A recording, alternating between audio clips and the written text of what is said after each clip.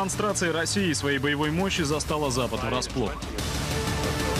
Пуски ракет поразили не столько ИГИЛ, сколько всю западную политическую мысль. Сигнал Вашингтону был абсолютно понятен. Вы можете сколько угодно строить свою ПРО. Она вам не поможет. Вы уязвимы и для маленьких подлодок у берегов США, и даже на расстоянии в тысячу миль от США. Нет способа, которым вы можете себя гарантированно защитить. Кто бы мог подумать, что эти ракеты способны на такое? Они действительно могут изменить правила игры. Для того, чтобы запустить ракету по отдаленным целям, больше не нужны большие корабли. Американцы исходили из того, что у русских нет высокоточного оружия. Поэтому их зенитно-ракетные комплексы изготовлены в первую очередь для отражения русских баллистических ракет.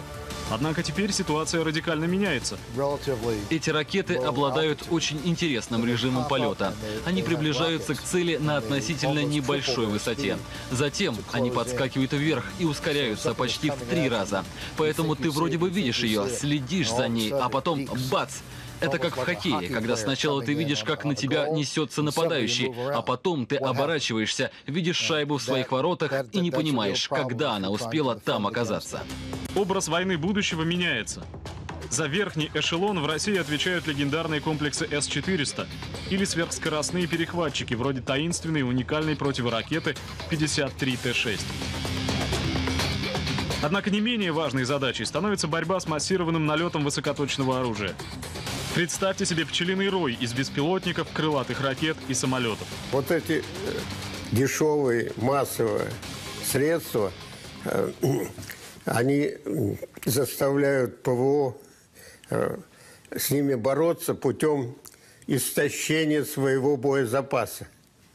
И наступает момент, когда вступают в силу уже более существенные средства воздушного нападения – а в ПВО кончаются средства поражения, то есть ракеты.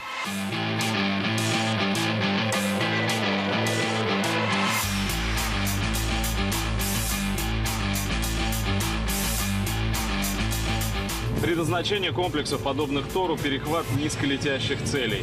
То есть, как правило, речь идет о высокоточном оружии, например, о крылатых ракетах. Главная особенность нового Тора – возможность вести огонь в движении, без остановки. Удел Тора и его брата-конкурента Тульского комплекса «Панцирь» – защита войск и больших противоракетных комплексов от того самого коварного пчелиного роя. Есть цель, дальность 13. Пуск! Раз она клюнула. Ижевское предприятие «Купол» – наглядное доказательство. Российская оборонка не просто жива. В разгар кризиса именно она подает пример всей остальной экономике, показывает, как надо работать. Ситуация радикально меняется. Те локальные конфликты, которые на сегодняшний день э, существуют в мире, как раз подчеркивает актуальность той задачи, которую необходимо осуществлять. Мы не можем быть слабыми, мы должны быть сильными. В цехах мы видим молодых сотрудников. В модулях управления Тором отечественную электронную начинку. А ведь еще недавно казалось, что элементная база в стране полностью уничтожена.